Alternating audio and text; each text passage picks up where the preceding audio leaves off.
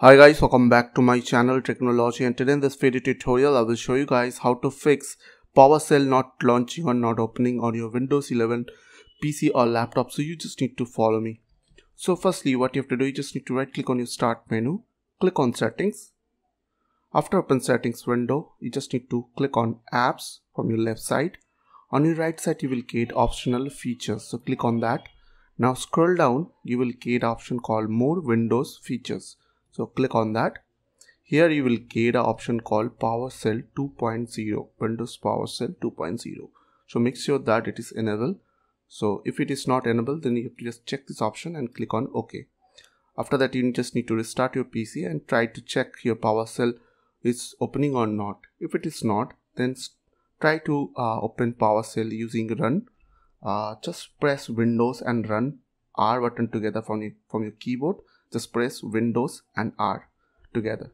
And you will get this run window. Also you can go to your start menu and type run and you can open this app from your start.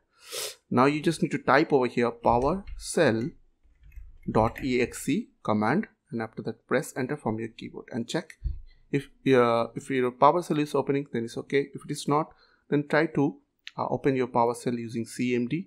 So just go to your start and type CMD. Now click on command prompt. Under command prompt, you just need to type start PowerShell. Now press enter and it will open PowerShell on your computer.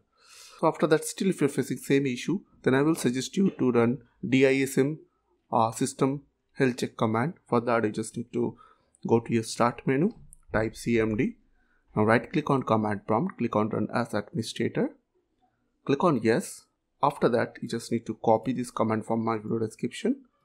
And after that, you just have to right click and it will uh, scan your PC. After that, you just need to restart your PC and it will fix your problem. Also, you can download and install PowerShell from your uh, Microsoft Store. So just, you just need to go to your Microsoft Store and type over here PowerShell and click on PowerShell app and here you just need to click on get and it will download PowerShell on your computer.